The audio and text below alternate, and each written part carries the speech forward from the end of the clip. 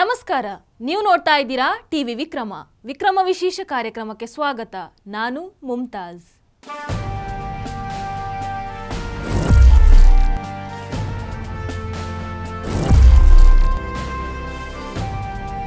ಒಂದು ಸತ್ಯ ಕಥೆಯನ್ನ ಇಟ್ಕೊಂಡು ಮಾಡಿರುವಂತಹ ಸಿನಿಮಾ. ಒಂದು ಸಮುದಾಯದ ನೋವಿನ ಕಥೆ. ಈ ನೋವಿನ ಕಥೆಯನ್ನ ದೇಶದ ಪ್ರತಿಯೊಬ್ಬರಿಗೂ ತಲುಪಿಸುವ ನಿಟ್ಟಿನಲ್ಲಿ ಒಂದು ಸಿನಿಮಾವನ್ನ ಮಾಡಲಾಗುತ್ತೆ.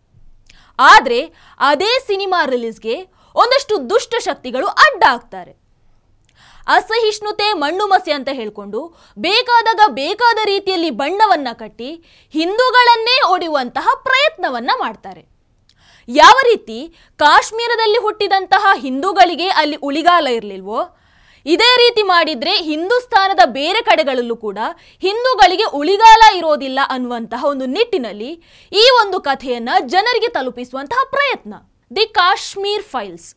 ಈ ಸಿನಿಮಾದಲ್ಲಿ ಕಾಶ್ಮೀರದ ಹಿಂದೂಗಳ ಹತ್ಯಾಕಾಂಡದ ಸಂಪೂರ್ಣ ಕಥೆಯನ್ನ ಸಿನಿಮಾ ಮಾಡಿ ಜನರಿಗೆ ಅರ್ಥ ಮಾಡಿಸುವಂತಹ ಪ್ರಯತ್ನ. ಸುಮಾರು ಮೂರು ದಶಕಗಳ ಹಿಂದೆ ಕಾಶ್ಮೀರದಲ್ಲಿದ್ದಂತಹ ಹಿಂದೂ ಬಾಂಧವರ ಮೇಲೆ ಅತ್ಯಾಚಾರ ಮಾಡಿ, ಕೊಲೆ ಮಾಡಿ, ಉಳಿದ ಹಿಂದೂ ಬಾಂಧವರನ್ನ ಕೂಡ ಅಲ್ಲಿಂದ ಓಡಿಸಿದ ಜಿಹಾದಿಗಳ ಅಟ್ಟಹಾಸದ ಕಥೆ. ಈ ಕಥೆ ಅದಿಷ್ಟು ಹಿಂದೂ ಬಾಂಧವರಿಗೆ ಗೊತ್ತಿಲ್ಲ. ಆದರೆ ಈ ಕಥೆ ತಿಳಿಯದೇ ಹೋದರೆ ಮುಂದೊಂದು ದಿನ ಹಿಂದೂಸ್ತಾನದಲ್ಲಿರುವಂತಹ ಹಿಂದೂಗಳಿಗೆ ಇಲ್ಲಿ ನೆಲೆ ಇರೋದಿಲ್ಲ ಅನ್ನುವಂತಹ ನಿಟ್ಟಿನಲ್ಲಿ ವಿವೇಕ್ ಅಗ್ನಿಹೋತ್ರಿ ಅವರು ದಿ ಕಾಶ್ಮೀರ್ ಫೈಲ್ಸ್ ಅನ್ನುವಂತಹ ಸಿನಿಮಾವನ್ನ ಮಾಡ್ತಾರೆ. ಆದರೆ ಈ ಸಿನಿಮಾ ರಿಲೀಸ್ಗೆ ತುಂಬ ದುಷ್ಟ ಶಕ್ತಿಗಳು ಅಡ್ಡ ಆಗ್ತವೆ ಯಾವುದೇ ಒಬ್ಬ ಬಾಲಿವುಡ್ ಹೀರೋ ಅಥವಾ ನಟನಾಗ್ಲಿ ಇದನ್ನ ಪ್ರಮೋಟ್ ಮಾಡೋದಕ್ಕೆ ಒಪ್ಕೊಳ್ಳೋದಿಲ್ಲ. ಕಪಿಲ್ ಶರ್ಮಾ ಶೋನಲ್ಲೂ ಕೂಡ ಇದಕ್ಕೆ ಅವಕಾಶವನ್ನ ನೀಡೋದಿಲ್ಲ. ಒಬ್ಬೊಬ್ಬರು ಕೂಡ ಒಂದೊಂದು ನೆಪವನ್ನ ಹೇಳಿ ಹಿಂದೆ ಸರಿತಾರೆ. ಈ ಗ್ಯಾಪ್ನಲ್ಲಿ ಯು ಪಿಯ ಹುಸೇದ್ ಸೈದ್ ಇದೊಂದು ಪ್ರೊಪಗ್ಯಾಂಡಾ ಸಿನಿಮಾ. ಇದು ಮುಸಲ್ಮಾನ ಬಾಂಧವರ ಭಾವನೆಗೆ ಧಕ್ಕೆ ತರುವಂತಹ ಸಿನಿಮಾ. ಹಾಗಾಗಿ ಈ ಸಿನಿಮಾ ರಿಲೀಸ್ಗೆ ಅವಕಾಶವನ್ನ ನೀಡಬಾರ್ದು ಅಂತ ಕೋರ್ಟ್ಗೆ ಅರ್ಜಿಯನ್ನು ಸಲ್ಲಿಸ್ತಾರೆ.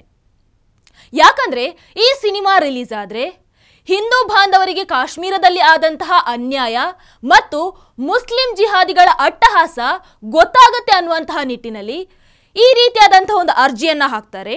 ಆದರೆ ಕೋರ್ಟ್ ಅವರ ಅರ್ಜಿಯನ್ನು ತಿರಸ್ಕರಿಸುತ್ತೆ. ಸಿನಿಮಾ ರಿಲೀಸ್ ಕೂಡ ಆಗುತ್ತೆ. ಈಗ ಈ ವಿಚಾರವನ್ನು ಪಕ್ಕಕ್ಕಿಡೋಣ ಅಷ್ಟಕ್ಕೂ ಕಾಶ್ಮೀರದಲ್ಲಿ ಹಿಂದೂಗಳ ಮೇಲೆ ಅನ್ಯಾಯ ಆಗ್ತಿದ್ರು ಕೂಡ ಅದನ್ನು ಯಾರೂ ಕೂಡ ಖಂಡಿಸಲಿಲ್ಲ ಯಾಕೆ?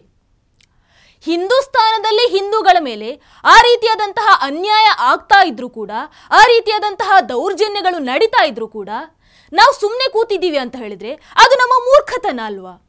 ಆ ತೊಂಬತ್ತರ ದಶಕದಲ್ಲೇ ಅಲ್ಲಿ ಹಿಂದೂಗಳ ಮೇಲೆ ಅಟ್ಟಹಾಸ ಆಗ್ತಾ ಇತ್ತು. ಆದ್ರೆ ಯಾವುದೇ ಒಬ್ಬ ಬಾಲಿವುಡ್ ಖಾನ್ ಕೂಡ ಅದನ್ನ ಖಂಡಿಸಲಿಲ್ಲ. ದಿಲ್ ತೋ ಪಾಗಲ್ ಹೇ, ಮೇನೆ ಪ್ಯಾರ್ ಕಿ ಅಂತ ಹಾಡ್ಗಳನ್ನ ಕೇಳ್ತಾ, ಅದನ್ನ ಹಾಡ್ತಾ ತಣ್ಣಗಿದ್ದೀವಿ. ಜಿಹಾದಿಗಳ ಮನಸ್ಥಿತಿ ಅದೆಷ್ಟು ಕ್ರೂರವಾಗಿತ್ತು ಅಂತ ಹೇಳಿದ್ರೆ, ಅವರು ಅಮಾಯಕರು, ಮಕ್ಕಳು, ಮಹಿಳೆಯರು ಅಂತ ಕೂಡ ನೋಡದೆ, ಅವರಿಗೆ ಟಾರ್ಚರ್ ನೀಡ್ತಾರೆ ಅವರ ಮೇಲೆ ಅತ್ಯಾಚಾರ ಎಸಗ್ತಾರೆ, ಅವರನ್ನ ಕೊಲೆ ಮಾಡ್ತಾರೆ. ಇಸ್ಲಾಂ ಧರ್ಮಕ್ಕೆ ಮತಾಂತರ ಆಗೋದಕ್ಕೆ ಒತ್ತಾಯ ಮಾಡ್ತಾರೆ, ಮತಾಂತರ ಆಗದೇ ಇರೋರನ್ನ ಕೊಲೆ ಮಾಡ್ತಾರೆ. ಆದರೆ ಯಾರಿಗೂ ಕೂಡ ಅವರು ನಮ್ಮ ಹಿಂದೂ ಬಾಂಧವರು ಅಂತ ಅನ್ಸೋದೇ ಇಲ್ಲ. ಯಾಕಂತ ಹೇಳಿದ್ರೆ, ಅವರನ್ನ ಕಾಶ್ಮೀರಿ ಪಂಡಿತರು ಅಂತ ಆಗಿನ ಸರ್ಕಾರ ಬಿಂಬಿಸುವಂತಹ ಪ್ರಯತ್ನವನ್ನ ಮಾಡ್ತಾರೆ. ಆದರೆ ಕಾಶ್ಮೀರಿ ಪಂಡಿತರಾದ್ರೆ ಅವರು ಹಿಂದೂಗಳಲ್ವಾ? ಒಂದ್ಸರಿ ಯೋಚನೆ ಮಾಡಿ, ಇವರು ನಮ್ಮನ್ನ ಇಷ್ಟು ಮೂರ್ಖರನ್ನಾಗಿ ಮಾಡ್ತಾ ಇದ್ದಾರೆ ಅಂತ. ಕಾಶ್ಮೀರಿ ಪಂಡಿತರು ಕೂಡ ಹಿಂದೂಗಳಂತ ಯಾರು ಕೂಡ ಯೋಚನೆನೇ ಮಾಡಲ್ಲ. ಯಾಕಂದ್ರೆ ನಮ್ಮ ಮಧ್ಯೆ ಇರುವಂತಹ ಒಡಕು, ಜಾತಿ ಜಾತಿ ಮಧ್ಯೆ ಇರುವಂತಹ ವಿಷ, ಈ ಮೂಲಕ ಹಿಂದೂಗಳಲ್ಲೇ ಇರುವಂತಹ ಒಗ್ಗಟ್ಟನ್ನ ಒಡೆಯುವಂತಹ ಪ್ರಯತ್ನ. ಇದ್ಯಾವುದು ಕೂಡ ಹಿಂದೂಗಳಿಗೆ ಅರ್ಥವೇ ಆಗೋದಿಲ್ಲ.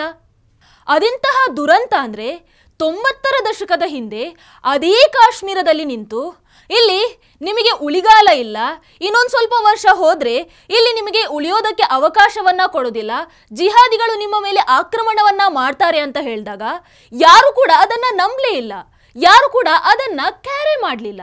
ಆದರೆ ಕೆಲವೇ ಕೆಲವು ವರ್ಷಗಳಲ್ಲಿ ಅದು ಸತ್ಯ ಅಂತ ಗೊತ್ತಾಯಿತು. ಈಗಲೂ ಕೂಡ ಹಾಗೆ ಆಗ್ತಾ ಇದೆ. ಸ್ವಲ್ಪ ಮೈ ಹಿಂದೂಸ್ಥಾನದಲ್ಲಿರುವಂತಹ ಹಿಂದೂಗಳಿಗೆ ಇಲ್ಲಿ ಉಳಿಗಾಲ ಇರೋದಿಲ್ಲ. ಆ ನಿಟ್ಟಿನಲ್ಲಿ ಹಿಂದೂ ಧರ್ಮದ ಮೇಲೆ ಅನೇಕ ಷಡ್ಯಂತರಗಳು ಕೂಡ ಈಗ ನಡೀತಾ ಇದೆ. ಈಗ ಹಿಂದೂಗಳಲ್ಲೇ ಬೇಕಾದಷ್ಟು ಜಾತಿ ಇದೆ. ಅದು ಲಿಂಗಾಯತ, ಬ್ರಾಹ್ಮಣ, ದಲಿತ, ಒಕ್ಕಲಿಗ ಹೀಗೆ ಅನೇಕ ಜಾತಿಗಳಿವೆ. ಇಲ್ಲಿ ಯಾರದೇ ಸಾವಾದರೂ ಕೂಡ ಅದನ್ನ ಜಾತಿಯ ಆಧಾರದಲ್ಲಿ ಬಿಂಬಿಸಲಾಗುತ್ತೆ. ಯಾಕಂತ ಹೇಳಿದ್ರೆ ಇಲ್ಲಿ ಒಗ್ಗಟ್ಟಾಗಿರುವಂತಹ ಹಿಂದೂಗಳನ್ನ ಓಡಿಯೋದೇ ಅವರ ಅಜೆಂಡಾ. ಈಗ ನಾವು ನಮ್ಮ ರಾಜ್ಯದ ಉದಾಹರಣೆಯನ್ನೇ ತಗೊಳ್ಳೋದಾದ್ರೆ ನಮ್ಮ ರಾಜ್ಯದಲ್ಲಿ ಅನೇಕ ಹಿಂದೂ ಕಾರ್ಯಕರ್ತರ ಕೊಲೆ ಆಗುತ್ತೆ. ಶರತ್ ಮಡಿವಾಳ ಆಗಿರಬಹುದು, ಪ್ರಶಾಂತ್ ಪೂಜಾರಿ ಆಗಿರಬಹುದು, ಹೀಗೆ ಅನೇಕ ಕಾರ್ಯಕರ್ತರ ಕೊಲೆ ಆಗುತ್ತೆ. ಆ ಸಂದರ್ಭದಲ್ಲಿ ಇವರು ಯಾರೂ ಕೂಡ ಮೇಲ್ಜಾತಿಯವರಲ್ಲ ಕೆಳಜಾತಿಯವರ ಹತ್ಯೆಯನ್ನು ಮಾಡಲಾಗ್ತಾ ಇದೆ ಅಂತ ಬೊಬ್ಬಿಡ್ತಾರೆ ಹಾಗಾದ್ರೆ ಕಾಶ್ಮೀರಿ ಪಂಡಿತರು ಯಾವ ಜಾತಿ? ಹೀಗೆ ಹಿಂದೂಗಳನ್ನ ಮೂರ್ಖರನ್ನಾಗಿಸಿ ಅವರ ಮಧ್ಯೆ ಇರುವಂತಹ ಒಗ್ಗಟ್ಟನ್ನ ಒಡೆದು ಮೇಲ್ಜಾತಿ, ಕೆಳಜಾತಿ ಅಂತ ಕಥೆ ಕಟ್ಕೊಂಡು ಬರ್ತಾ ಇದ್ದಾರೆ. ಇದನ್ನ ಇನ್ನೂ ಅರ್ಥ ಮಾಡ್ಕೊಳ್ದೆ ಇದ್ರೆ ಹಿಂದೂಗಳಷ್ಟು ಮೂರ್ಖರು ಬೇರೆ ಯಾರೂ ಇರೋದಿಲ್ಲ. ಮುಂದೊಂದು ದಿನ ಹಿಂದೂಸ್ಥಾನದಲ್ಲೇ ಹಿಂದೂಗಳಿಗೆ ಉಳಿಯೋದಕ್ಕೆ ಅವಕಾಶ ಇಲ್ಲದಂತಹ ಪರಿಸ್ಥಿತಿಯನ್ನ ನಿರ್ಮಾಣ ಮಾಡ್ತಾರೆ. ಹಾಗಾಗಿ ಪರಿಸ್ಥಿತಿಯನ್ನ ಅರ್ಥ ಮಾಡ್ಕೊಳ್ಬೇಕಾದಂತಹ ಅವಶ್ಯಕತೆ ನಮ್ಮದಾಗಿದೆ. ಇನ್ನೂ ಕೂಡ ನನ್ನ ಮಾತಿನ ಮೇಲೆ ನಂಬಿಕೆ ಬರದೆ ಹೋದರೆ ದಿ ಕಾಶ್ಮೀರ್ ಫೈಲ್ಸ್ ಅನ್ನುವಂತಹ ಸಿನಿಮಾ ಬಿಡುಗಡೆಯಾಗಿದೆ. ನೀವು ಇದನ್ನು ನೋಡಿ ನಿಮ್ಮ ಎಲ್ಲ ಪ್ರಶ್ನೆಗಳಿಗೂ ಇದೇ ಉತ್ತರವನ್ನು ನೀಡುತ್ತೆ. ಇದಾಗಿತ್ತು ಈ ಹೊತ್ತಿನ ವಿಶೇಷ. ನೋಡ್ತಾ ಇರಿ ಟಿ ವಿ ವಿಕ್ರಮ ದೇಶ ನಿಮ್ಮ ಕೈಯಲ್ಲಿ ಅಂದರೆ ನಮ್ಮೆಲ್ಲರ ಕೈಯಲ್ಲಿ. ನಮಸ್ಕಾರ. ಟಿವಿ ವಿಕ್ರಮ ದೇಶ ನಿಮ್ಮ ಕೈಯಲ್ಲಿ. ಈ ಕಾರ್ಯಕ್ರಮ ನಿಮಗೆ ಇಷ್ಟ ಆಗಿದ್ರೆ ಲೈಕ್ ಮಾಡಿ ಶೇರ್ ಮಾಡಿ. ಟಿವಿ ವಿಕ್ರಮದ ಕಾರ್ಯಕ್ರಮವನ್ನು ನಿರಂತರವಾಗಿ ವೀಕ್ಷಿಸಲು ಸಬ್ಸ್ಕ್ರೈಬ್ ಮಾಡಿ ಬೆಲ್ ಬಟನ್ ಒತ್ತಿ.